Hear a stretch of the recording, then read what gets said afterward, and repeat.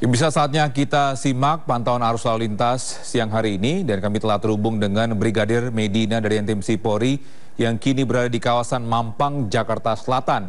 Selamat siang Brigadir Medina, bagaimana pantauan arus lalu lintas dari tempat Anda melapor?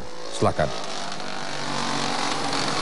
Baik, terima kasih rekan Togi dan juga selamat siapa pemirsa menemani aktivitas di akhir pekan Anda. Kami akan mengajak pemirsa untuk mengetahui bagaimana kondisi arus lalu lintas langsung dari kawasan Simpang Gotri Mampang, Jakarta Selatan. Dapat Anda bersama layar kaca Anda arus lalu lintas pada siang hari ini terbilang cukup ramai dan juga lancar dari berbagai arahnya. Yakni arus lalu lintas dari arah Cawang yang akan mengarah ke Ragunan saat ini dalam situasi ramai lancar. Penambatan kecepatan kendaraan hanya menjelang antrian traffic light saja Kemudian kendaraan dapat mengalir dengan kecepatan normal.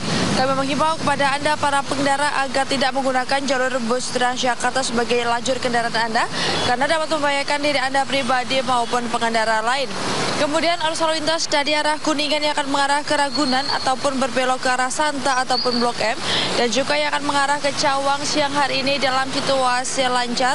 Belum terjadi peningkatan volume arus kendaraan yang cukup signifikan di kawasan ini. Dan di kawasan ini kendaraan didominasi oleh kendaraan pribadi baik roda 2, roda 4 dan juga angkutan umum. Kami menghimbau kepada Anda para pengendara agar selalu menjaga jarak aman kendaraan Anda mengingat sering kali dijumpai angkutan umum yang mulai turun menurunkan penumpang di bahu jalan yang menjadi salah satu faktor ketersendatan yang perlu Anda antisipasi. Kemudian arah sebaliknya yakni dari arah Ragunan yang akan mengarah ke Santa ataupun Blok M saat ini terpantau kondusif lancar.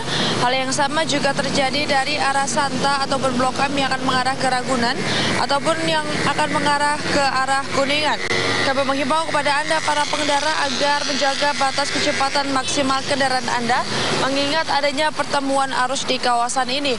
Dan juga kami menghimbau kepada Anda para pengendara agar selalu berhenti di belakang garis stop pada antrian traffic light, juga mematuhi arahan dan juga petunjuk dari petugas kami yang berada di lapangan pertimbangan Ya pemirsa, akhir ini cuaca di ibu kota Jakarta tidak menentu. Kami menghimbau kepada Anda para pengendara khususnya roda 2 agar selalu membawa jas hujan tetapi tidak berbentuk ponco serta tidak meneduh di bawah underpass maupun di bawah flyover karena dapat membahayakan diri Anda juga dapat menyebabkan ketersendatan arus lalu lintas di kawasan tersebut.